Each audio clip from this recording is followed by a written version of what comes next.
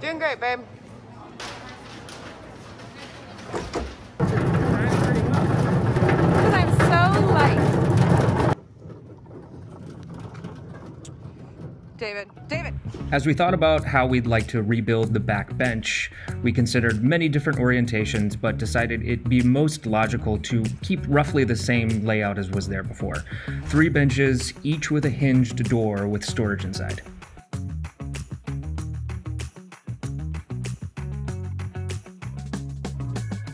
We had to navigate a mind bending amount of wires and copper pipe into our structure, so we started by getting those as compact as possible. We were able to notch out the studs to allow the copper pipe and the wires to pass through.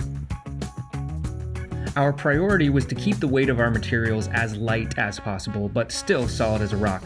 We decided to go with 2x3 studs instead of 2x4. You'd be surprised how much a 2x4 weighs in comparison.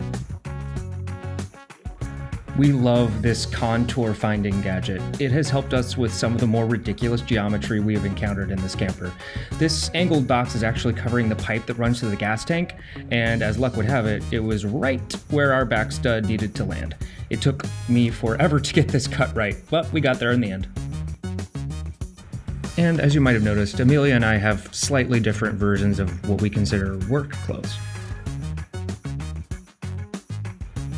The fresh water tank will actually go in this back bench, and the other two will be available for storage.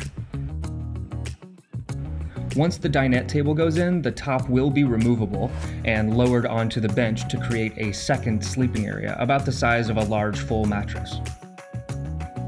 We had a lot of leftover beadboard from working on the ceiling, so we decided to cut that down and use that as the front paneling of our back bench.